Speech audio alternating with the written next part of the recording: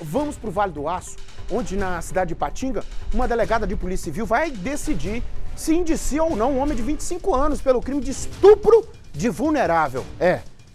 Aí é quando a vítima é menor, né? A vítima é um adolescente de 14 anos.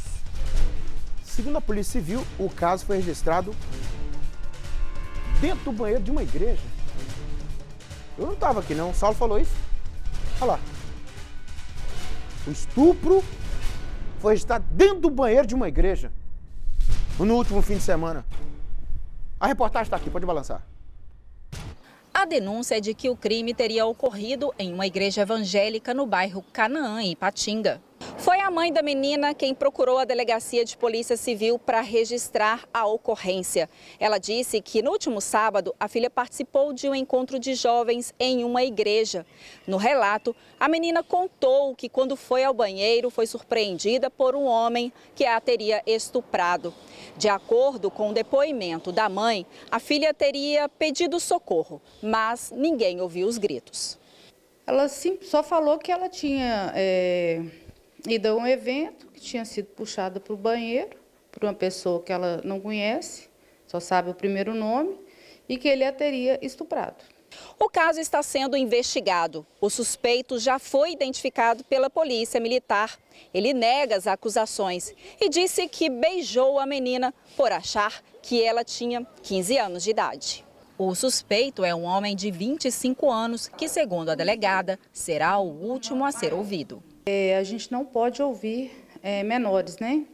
É, pela lei que prevê é, a não revitimização das vítimas de violência, principalmente violência sexual, no caso de crianças, né? A criança só seria ouvida aqui através da escuta especializada, no caso de uma revelação espontânea. Como no dia a mãe veio sozinha para registrar a ocorrência, a gente não pode intimar a criança aqui. Então, nós vamos é, ouvir as testemunhas, né, a mãe da criança, ouvir o investigado e, ao final, se eu tiver elementos, eu posso indiciá-lo. Se eu não tiver elementos, entender que há necessidade de ouvir a criança, a gente faz uma representação é, ao Ministério Público, pedindo que seja feito o depoimento especial, o qual é feito é, na Justiça, né, por profissionais é, designados lá pelo juiz. É, a delegada informou aqui a questão, a parte formal da toda a investigação. Vai ser investigado, vai ouvir aqui, ouvir acolá, o Ministério Público intervém nisso, a família vai ser ouvida, a vítima, a pessoa que está sendo suspeita de ter cometido, isso é a parte burocrática da investigação. Se ficar aprovado, lá no final vai transformar num processo. É assim que funciona. Mas chama atenção, quando a delegada fala que essa pessoa suspeita diz que beijou a menina que achou que ela tinha 15. Oh, que conversa é essa? Não, é. Achou que tinha 15. A questão aí não é a idade, não, ô companheiro. A questão aí é o ato, né? É o ato. Agora imagina, né? A, a mãe, os pais, né? Se chega lá na casa da, da, dos pais dessa, dessa criança, 14 anos, um adolescente, e diz: Ah, cadê a fulana? Oh, graças a Deus ela foi para um retiro. Retiro, eu participo de retiro, eu dou palestra em retiro. O que, que ela foi fazendo? Retiro espiritual. Normalmente as pessoas ficam um fim de semana lá.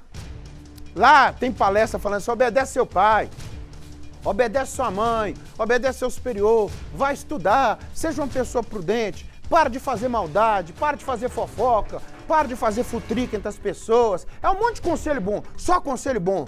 Canta, ora e come muito. No, tem, tem café da manhã, tem intervalo para coffee break, tem almoço, é só frangão, macarrão, é eu gosto. Aí, a minha filha foi pro retiro. Aí eu, o vizinho teve falado, não, a menina dela vai voltar melhor ainda. Ué, se for um filho bom, sabe como é que ele volta? Ótimo. Se for um filho chato, ele, ele vai voltar, que nem o Lamonier assim, ele vai voltar um pouquinho melhorado. Agora, a mãe da notícia, minha filha, foi pro retiro para receber a palavra de Deus ser melhorada. Olha o que, que acontece no retiro.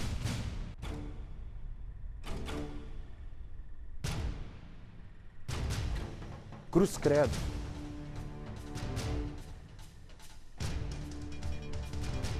Num retiro de igreja?